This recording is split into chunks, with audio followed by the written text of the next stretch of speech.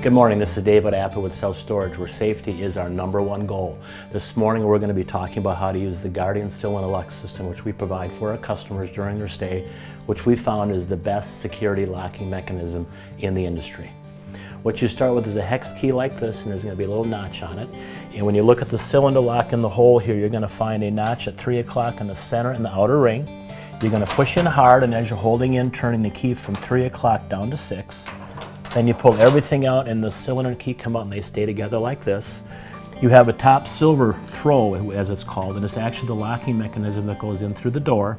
You want to move it all the way to the left to open the door. There's typically going to be spring tension, so you want to push on the foot handle down on the ground, stepping on it to release tension, sliding the latch over, and then with good posture, come over to the handle here in the center, bend your knees, bend your back, plant your feet well, lift the door up. Now you've got the storage unit open. To close the unit, reverse the process. Bend your knees, closing the door.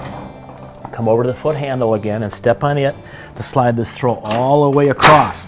You'll know you've got it all the way engaged to the door when you see the opening where the cylinder lock uh, is going to go be fully exposed. Now there's an important piece with the cylinder lock going into the hole. If you look at the opening, it's got an arched top, also has a flat bottom. Your cylinder has got a threaded arched top and a smooth flat bottom. Grabbing the key at 6 o'clock with the flat bottom down, come over and put it flat bottom down, push in hard and turn the key up to 3 o'clock and pull it out. That's how folks who use the Guardian Cylinder Lock system to open and close your unit. We realize that your storage needs are based upon the life events you're working through and we appreciate the fact you've chosen us for your storage needs and placed confidence in us to store your household possessions. Thank you.